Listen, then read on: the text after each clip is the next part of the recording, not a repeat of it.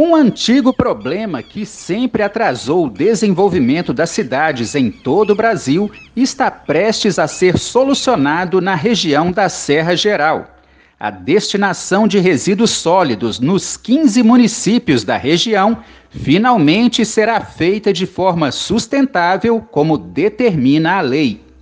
Foi um longo processo, mas finalmente o início das atividades do aterro sanitário representa um grande avanço para várias cidades, que é o fim dos lixões, aquelas montanhas de lixo que, além de causar uma péssima impressão, degradavam muito o meio ambiente.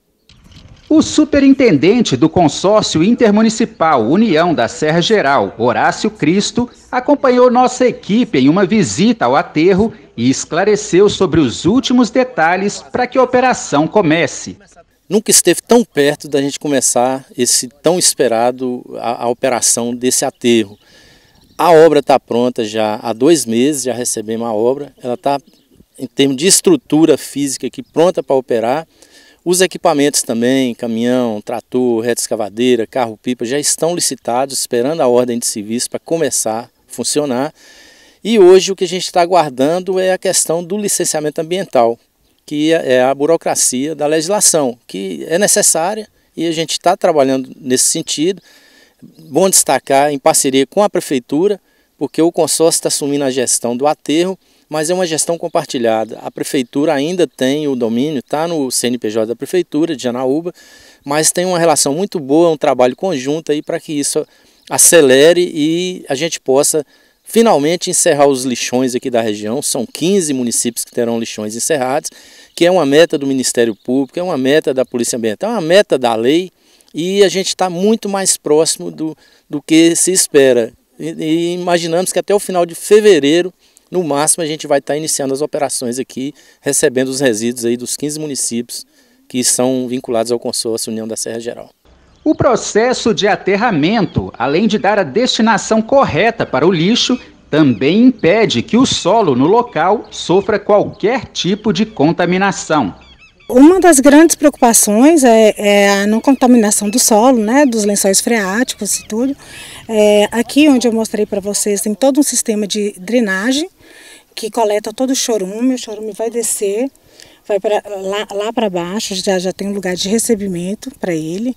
É, o solo na, é, na, lateral também é todo protegido por, pela geomembrana. É, e a gente tem aqui uma drenagem vertical. Ele, os biogases vão saindo por aí. À medida que for preenchendo o, com os resíduos, aí a gente vai subindo eles. Provavelmente esse aterro vai chegar até lá em cima. Mas embaixo de toda essa camada de, de terra aqui que vocês estão vendo, tem também essa geomembrana protegendo o solo. É, não há possibilidade de contaminação do solo aqui de forma alguma. É tudo pensado para proteger completamente o lençol freático. E no meio disso tudo, geração de empregos. Com certeza. Geração de empregos, é, a hora que começar a, a UTM, que acabar com os lixões, vai ter muita geração de emprego, os, pessoal, os catadores de, de lixo, eles mesmos poderão vir a trabalhar nessa usina né, de triagem mecanizada.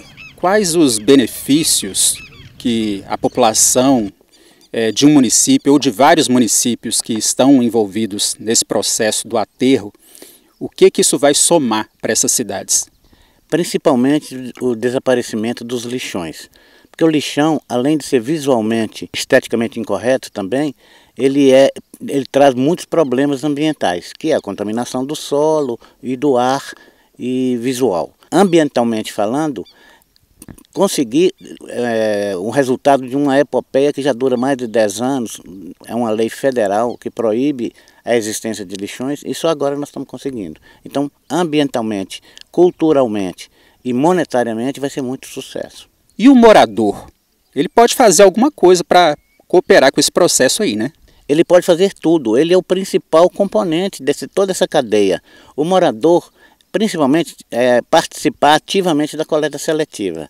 O que é coleta seletiva? É uma coisa muito simples, é simplesmente separar o lixo molhado do lixo seco. Então o lixo pode ser reaproveitado de várias maneiras e o morador tem uma participação importantíssima nesse processo, que é separar o lixo em casa.